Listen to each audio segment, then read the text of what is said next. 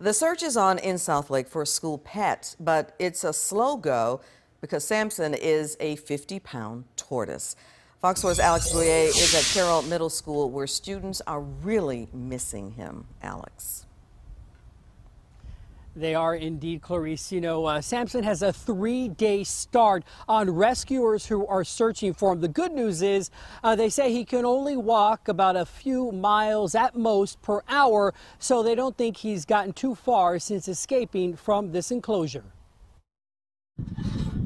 The gate just got left open in the after school, and when I checked it, it was closed, but some time had passed. Carroll Middle School animal science teacher Cami Justice Smith can't seem to get ahead of a slow moving tortoise named Samson. He's not going very fast. He's munching his way around Southlake. The 20 year old sulcata tortoise, who's quickly becoming a social media sensation, has been on the run, so to speak, since Friday when Samson escaped from the enclosure at the Southlake school he shares with his better half, Delilah. He could be up to about 40 miles away at this point, but we're pretty sure he's still around. We're getting calls with people who spotted him. He looked like he was heading somewhere. Samson nearly got busted just minutes after his escape Friday night. I don't know if he was freaking out because of all the attention or. Right. Michael Pyatt was pulling into Gateway Church directly across the street from Carroll Middle School around 7:30 p.m. when he spotted the tortoise. He posted part of the chance encounter on Facebook Live.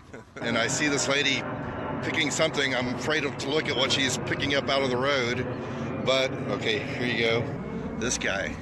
Unaware that it was a tortoise on the lam, Pyatt says he and the other churchgoers simply made sure Samson was a safe distance away from traffic. And after snapping a few photos and videos, let him continue on his journey. I hope that he is easily found. I'm sure he is, just waiting to be found. Running from Delilah, Samson Delilah. And I can tell you that Delilah doesn't seem to be uh, minding her time away from Samson. Uh, meanwhile, I can tell you that Samson's caregiver does say that her only concern really is, is that obviously he could possibly get hit by a car. She's also concerned that someone may try to move him and because he does weigh so much could crack his shell. If you do spot Samson, you are asked to call the Southlake Police non-emergency number. Clarice. Let's hope Samson gets home really safe and very soon. Alex, thank you.